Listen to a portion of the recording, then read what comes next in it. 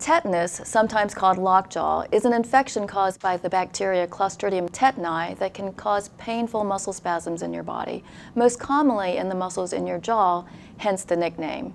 Bacterial spores of tetanus are everywhere in the environment, in the dirt, in dust, and feces. The spores develop into bacteria when they enter the body.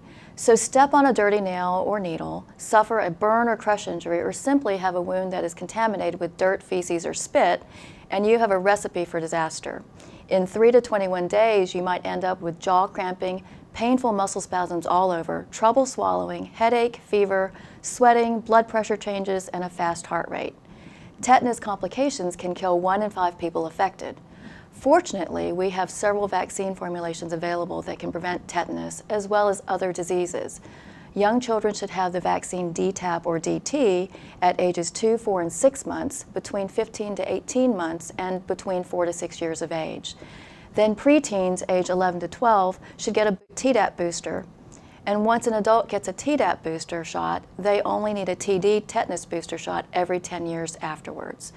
We all get cuts and scrapes. It happens. Protect yourself and your family against tetanus.